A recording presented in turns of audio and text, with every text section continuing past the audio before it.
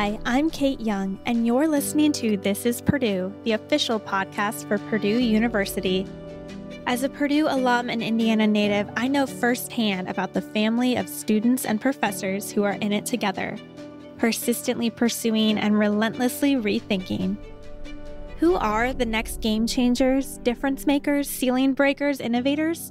Who are these Boilermakers? Join me as we feature students, faculty, and alumni taking small steps toward their giant leaps and inspiring others to do the same. It's an experience you get once in a lifetime. It's for you, it's for your loved ones, it's a celebration. Take a minute and take it all in. The hard work that you've done, give yourself that recognition and a moment of appreciation for all the work because it is not easy to get a Purdue degree. It is not easy. Getting into college, graduating from college, landing your dream job, all huge milestones you won't forget in your lifetime. Unfortunately, for many college and high school students, commencement celebrations were held virtually in 2020 when COVID 19 swept the nation.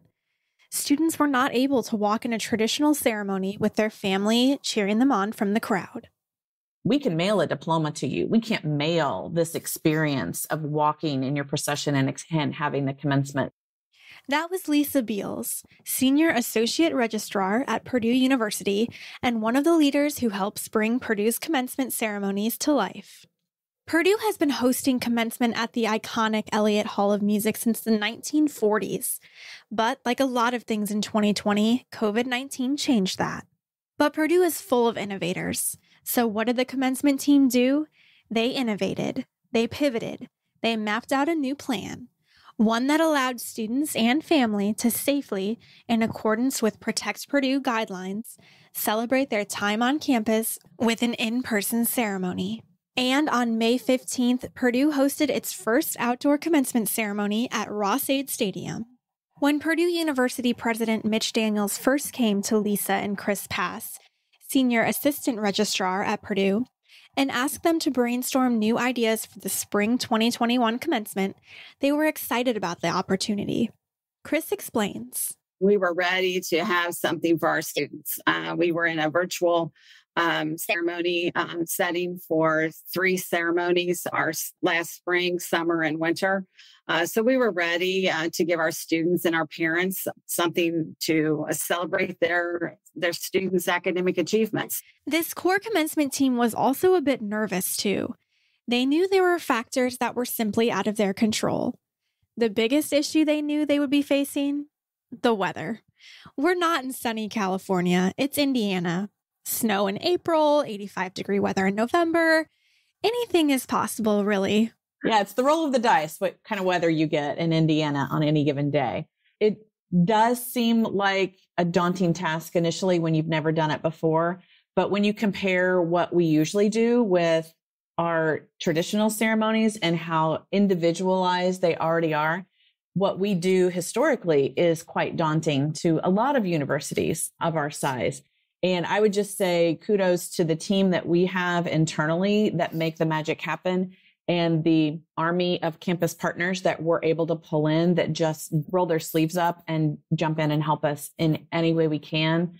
They're all driven and motivated by that student experience, just like we are.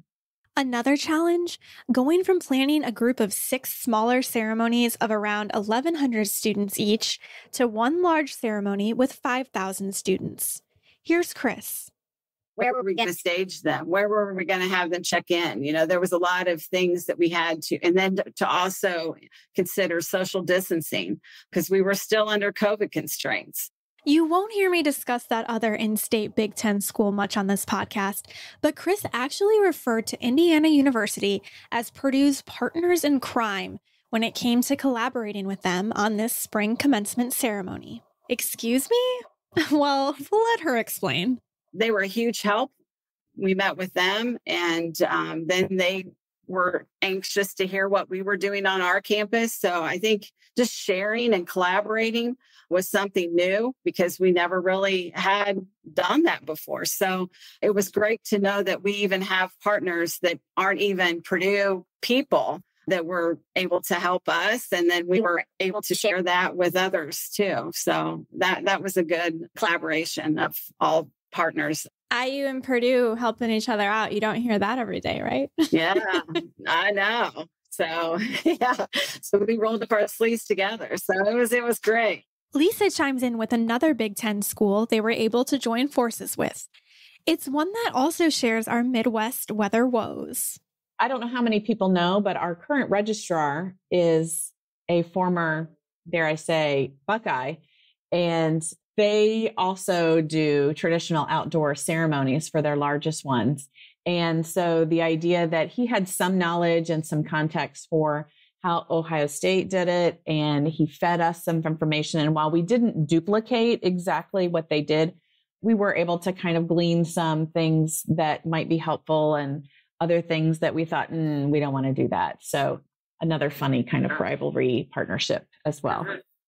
They even came up with a challenge. Could they seat Purdue's candidates in less than 60 minutes, quicker than it took Ohio State to seat their candidates? Spoiler alert Purdue's team did indeed complete this massive feat in under an hour. I always am amazed and overwhelmed that we can get 1,100 young adults to mostly follow direction and command and get them from the armory to the Hall of Music in some semblance of order so that when they cross the stage, they get their diploma that we have planned to give them. And the idea that we did something similar for 5,000 graduates and we seated them in just under an hour. And it would usually take me 30 to 45 minutes to seat 1,100 in Elliott. So the idea that I close to match that for 5,000 graduates and the smiles on their faces, even with the masks on, you could see it in their eyes that they've been waiting for this. They've been waiting for this. So that was the best part for me. I asked Chris and Lesa what it felt like when the day finally came on May 15th and all their hard work came to fruition. For me, it was emotional. I mean, it really was to watch um, the parents. I mean, everybody was so happy. And we had the drum there and we had the train. So it was just like a homecoming game. You know, it was, there was activities that the students could do on campus. We're back in the stadium. I mean, the stadium was alive again. So that was really something to watch. Until that last candidate was up on the stage, I had that exhale. And then I sat up there with the graduates and took in and the Purdue for Life video, I mean, literally gave me goosebumps. And the tribute to the graduates for the class of 21, again, I mean, brought tears to my eyes. It was just such a well put together event. Why do you guys think it's so important that these students and parents and families get to witness this, you know, for some people, once in a lifetime opportunity in person? Why was that so important to, to Purdue and the community? I think it was just, you know, we we love our students. We love Purdue. So it was it was just something we wanted to give back. We know, I mean, it takes a lot of work to get that degree. And they have family and friends that are there supporting them along the way getting that degree. So it was something that we wanted to do for them so they could celebrate all of their hard work. So it was important for us to be able to do that. Agreed. Agreed. I think the bookend that we provide, BGR crossing the tracks when you start on campus, and then having that same kind of experience to close that chapter as you start the next one in your adult life. I just think it's it's a rite of passage that we really take seriously to offer our students and their families. It's an experience you get once in a lifetime. It's for you, it's for your loved ones, it's a celebration take a minute and take it all in. The hard work that you've done, give yourself that recognition and a moment of appreciation for all the work because it is not easy to get a Purdue degree. It is not easy. So we encourage anybody that's considering it, do it. To all of our Purdue alumni out there, I'm sure you can agree that earning your Purdue degree and celebrating at commencement is a memory etched into your brain. However, I will say I envy this year's students who were able to experience this special moment. You see, with an outdoor ceremony comes more opportunities for, shall I say, grand entrances. this year, President Daniels didn't just walk into the ceremony, he drove in. Nathan Percy, who graduated this year from the College of Science, drove President Daniels around Ross-Ade Stadium on the couch cart, a love seat placed on a motorized cart. The cart then delivered President Daniels to the speaker's platform for the commencement ceremony. The best part? It was all a surprise, and the crowd loved it. Chris explains why it was one of her favorite memories from the weekend this was all the president's doing, his idea. He wanted to do it and mm-hmm. he got us together and was like, how can I do it? And so we practiced and and got the couch cart over there because we didn't know if it was going to go on the football on the grass. Um, so we went through it several times, uh, getting on the couch cart and then coming in live in the stadium. The roar from the students was just it was great. so it set the tone for the for the whole ceremony. Although Elliott Hall of Music commencement ceremonies are a tradition at Purdue, for such a unique school year, it was only fitting to have that unique setting and entrance for this year's commencement. I've done it for almost over 25 years of doing it in Elliott. So, you know, I love Elliott. I mean, the ceremony, the sound, you can't you can't duplicate that. But it was a totally different experience. Like I said, the the crowd, the roar of the stadium, the, the life, you felt it in there. And what about President Daniels' commencement speech? What did it mean to Chris and Lesa after facing all of the adversity from the past year? His speeches are always personal. He writes them himself. He doesn't have a speechwriter that writes those words that he gives to the graduating class. I mean, those are things that he does personally that he takes great pride in. And you can tell it's a message from him and from his heart and what he's feeling and thinking for them.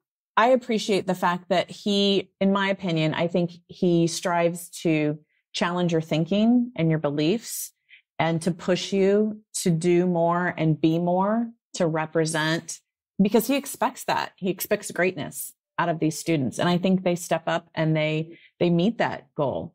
And sitting with the graduates during that speech and hearing them, they they love him. His keynote address was picked up by national news outlets and highlighted Boilermakers Place as bold leaders and how their experiences at Purdue, especially in navigating the pandemic as they completed their education, prepared them. And now Purdue proudly presents President Daniels' Spring 2021 commencement address. This year, when I say I'm happy to be here, I'm not just making small talk. If you're like me, you're happy to be anywhere after the year we've all been through. I wish we were over in Elliott Hall, celebrating your achievements individually as only Purdue does among schools our size. But this beats the virtual version we were forced to in 2020 and marks a long step back on the path to fully normal life. As we've never done an outdoor commencement before, we may have gotten a few things wrong. For one thing, way out here on the 50 yard line, it feels like we carried that social distance thing a little far. Well, however well it goes, like everything about your senior year, it'll be one for the history books. For all the trouble and downsides, there can be some real value in living through a time like this. For decades to come, scholars and ordinary citizens alike will look back on your senior year trying to identify its consequences and imagine what lives so disrupted were like. As they do so, they'll know more than we can now about the results of the choices today's leaders made. They will reach judgments with the benefit of hindsight about the wisdom and maturity with which our nation handled this challenge in this particular pandemic. Odds are, not all those judgments will be favorable. Time will tell. An ability to comprehend and work with complex facts and data has always been part of a Purdue education. At least since the industrial age, that's been an essential for a useful life of the kind at which Boilermakers ex excel. But that's never been nearly so true as today. Massive amounts of information are being collected intentionally by us and silently by the machines we invent and use in daily life. Interpreting its meaning and discovering patterns within it is perhaps the most important skill in the economy of 2021. Our faculty has determined that data analysis, as we now call it, should be as universal a part of a Boilermaker education as English composition.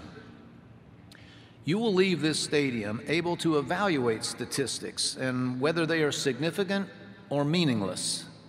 You'll know better than to confuse correlation with causation. You'll look at decisions critically and holistically, understanding that any objective pursued too far eventually yields diminishing returns not worth their cost. That just as all medicines have side effects, almost all actions produce collateral consequences, often collateral damage. It doesn't stretch a point to say that we wouldn't be meeting here today without those skills. Keeping Purdue open last fall so that you could stay on schedule and graduate today required the daily examination of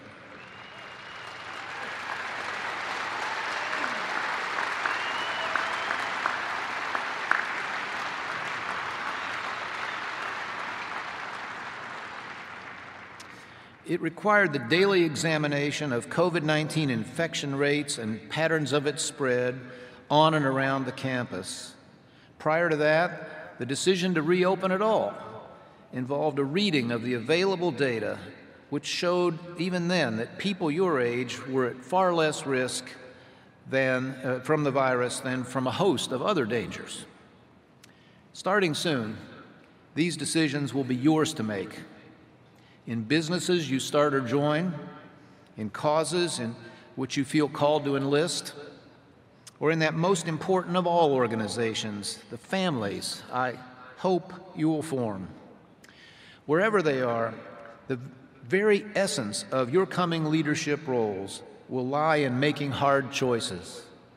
After weighing all the options, the competing priorities, and the uncertainties that even the biggest databases cannot totally eliminate. Others will look to you to choose.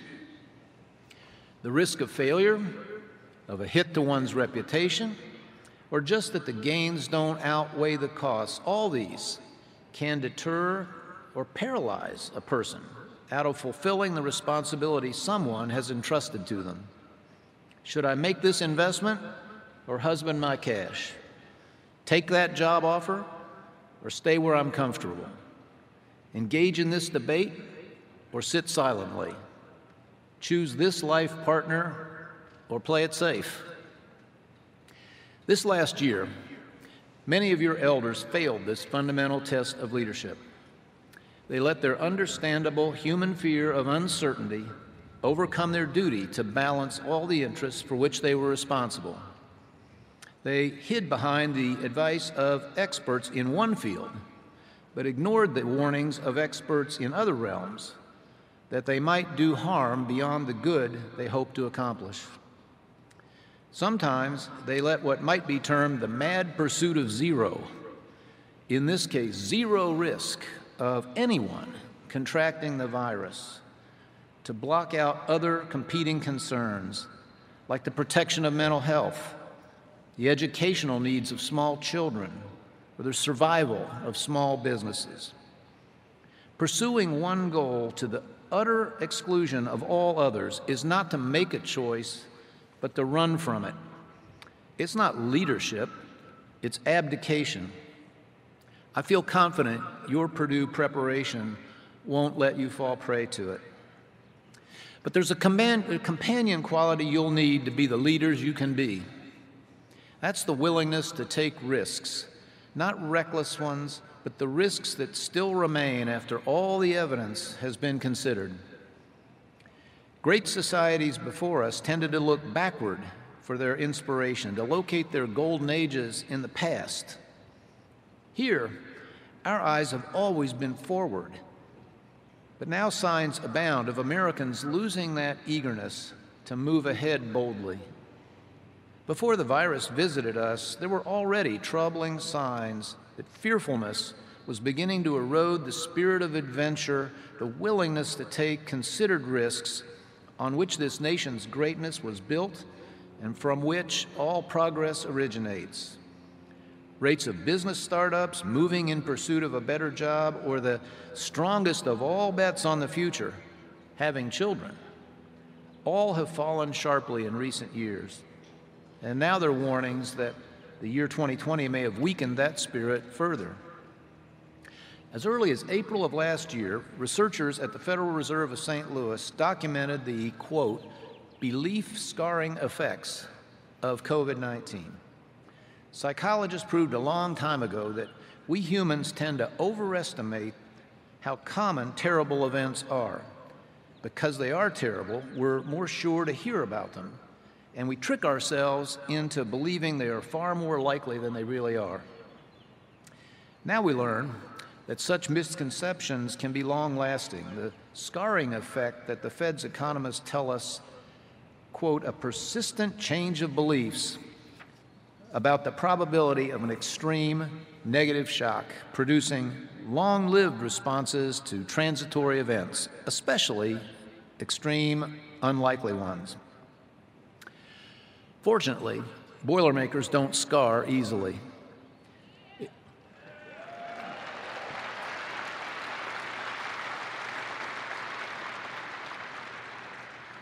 If, if Amelia Earhart had been intimidated by uncertainty, we wouldn't know her name. If our recent board chair, Keith Krach, had stayed within the safe confines of a giant corporation's career ladder, the world would not enjoy the huge efficiency breakthroughs of Ariba and DocuSign. If Neil Armstrong, Gus Grissom, and more than a score more Purdue astronauts had run from risk, humanity's knowledge of its universe would be far short of our current boundaries. It, in the most jarring book of recent years, the Israeli philosopher Yuval Harari predicts that humans your age will live to see, quote, the last days of death, when the species we call Homo sapiens becomes, he calls them, godlings and immortal. He sees this happening through one of the same technologies at which this university excels, either biological engineering or cyborg engineering of our organic beings, or simply the complete replacement of humans by super intelligent machines. Immortality sounds good until Harari points out the implications. One of them would be a total aversion to risk. If you believe you can live forever, why would you ever take a chance of any kind? I hope that the experiences of 2020 left you with an attitude not of fearfulness, but of confidence. Confidence that we can tackle hard problems and that hiding from them is rarely the best course that given a careful examination of the available facts and a thoughtful calculation of relative risks, we can overcome even the biggest obstacles and be the masters of our fates and our futures. As school started again at her campus, the provost of Kansas University sent a message to her students and colleagues that's relevant far beyond the present day or the recent pandemic. She wrote, In times of high anxiety, it is human nature to crave certainty for the safety it provides. The problem with craving certainty is that it's a false hope. It's a craving that can never fully be met. She quoted the astronomer Carl Sagan.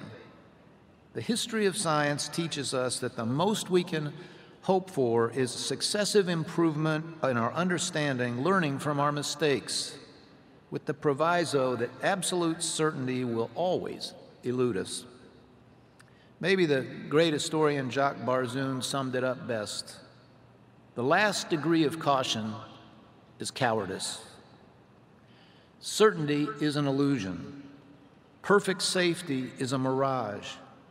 Zero is always unattainable, except in the case of absolute zero, where, as you remember, all motion and life stops. You are leaving here ready for leadership. Your academic records say so. The history of Purdue graduates says so. The character you demonstrated this last year when your embrace of the Purdue Pledge enabled this place to stay open at all clearly says so. We expect, no, we know that you will tackle leadership's challenges as they present themselves to you. You're taking with you all the tools to weigh alternatives, balance priorities, assess relative risks. All you'll need is the courage to act on the conclusions you reach. Now take that readiness into a fearful, timid world crying for leadership and direction and boldness, where the biggest risk of all is that we stop taking risks at all. Hail Purdue and each of you. If you haven't heard our episode with President Daniels yet, be sure to listen after you finish this episode. He details his experience riding into commencement on the couch cart, what it was like to write that speech, and how he felt when he told the world last year that Purdue would be operating in person. Trust me, it's an episode you don't want to miss. And if you want to experience President Daniels' speech from commencement, check out the full video on our YouTube account. Just head over to youtube.com slash Purdue. Thanks for listening to This is Purdue. For more information on this episode, visit our website at purdue.edu slash podcast. There, you can head over to your favorite podcast app to subscribe and leave us a review. And as always, boiler up.